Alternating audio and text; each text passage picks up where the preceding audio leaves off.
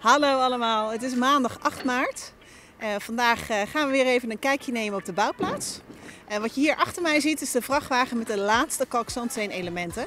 Ehm, dus dat betekent dat de laatste elementen voor de tweede verdiepingsvloer op korte termijn allemaal geplaatst gaan worden. Nou, waar ik je vandaag nog ook even verder mee in meeneem, is het eventjes inzoomen op het stukje metselwerk. Ehm, wat de prognose is met de verdere planning en wat misschien nog voor de komende weken op de agenda staat.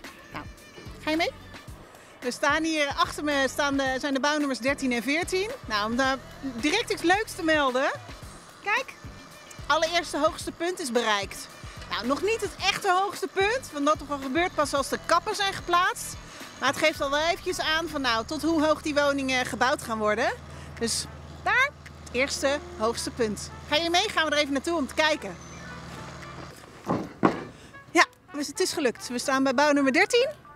En zoals ik net al zei, de eerste toppen zijn geplaatst. Dus de driehoekige elementen, waar straks ook de kap tegenaan wordt geplaatst. Met als resultante dat je dus hier daadwerkelijk ook de hoogte van de kap al gaat zien.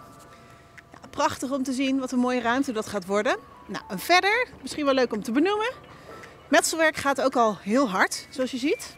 Hier uh, zie je de schoorsteen, die straks ook echt als mooi element buiten de kap helemaal doorgetrokken wordt. Nou, die schoorstenen worden verder helemaal opgemetseld. Er zit ook diverse constructie in om stevig en stabiel te houden. Um, en die schoorsteen wordt dan aan de bovenkant voorzien van een betonnen afdekker. We staan nog steeds op de stijgers bij bouwnummer 13 en 14. En we kijken op de woning bouwnummer van links naar rechts 12, 11 en 10. De begane grond is het metselwerk al aangebracht zoals je ziet. Het metselwerk bestaat uit twee kleuren. De onderste laag, de plint, is een donker uh, gekleurd metselsteen. Die is nog ingepakt in plastic. En dat heeft een reden omdat die steen wat kwetsbaarder is voor vuil. Dus vandaar dat hij nog afgedekt wordt. Nou, de kozijnen zijn geplaatst. Het lichte metselwerk is al aangebracht. En zoals je dan verder kan zien is dat we dan ook gestaag doorgaan op de eerste verdieping met metselwerk. Nou, de isolatie zit er inmiddels. En ook daar zijn de kozijnen aangebracht. Dus nog heel even en dan kun je daar ook het metselwerk helemaal gaan zien. Nou, we staan hier uh, daadwerkelijk bij het metselwerk zodat ook, zoals het ook wordt aangebracht. Dus de collega die aan het metselen is. Nou, het is aardig precisiewerkje om alles ook in de juiste hoogtes uit te zetten. Vandaar dat het draadje wordt gespannen. Zodat we weten welke hoogte het um, baksteen uh, echt gemetseld moet worden. En verder zie je tussen de kozijnen donkere metselwerk terugkomen. Daar zit een verspringing in en ook dat luistert wel nauw. Dus in de breedte en in de hoogte moet alles passend zijn. Anders zouden de kozijnen ook niet passen. Dus een aardig precisiewerkje voor die mannen hier. Goed bezig hoor. Dankjewel.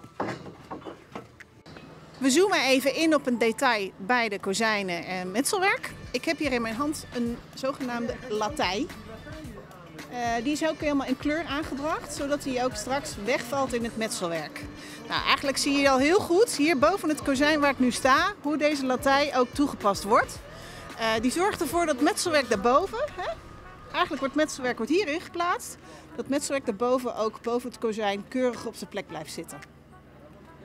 Nou, we staan nu in de woning. Uh, ik sta nu in de badkamer, wat straks de badkamer gaat worden. Je ziet hier allerlei zaken in het plafond al zitten.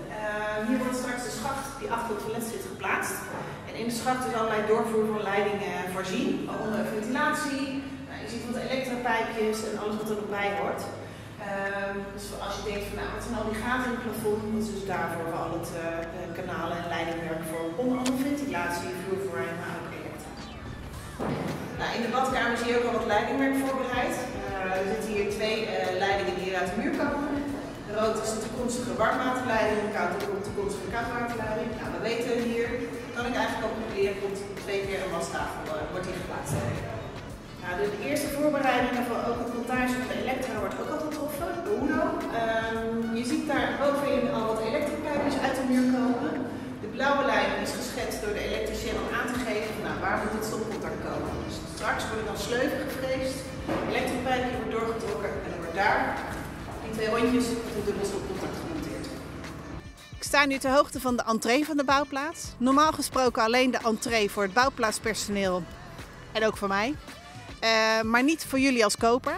Daar gaan we binnenkort even verandering in brengen. Waarom?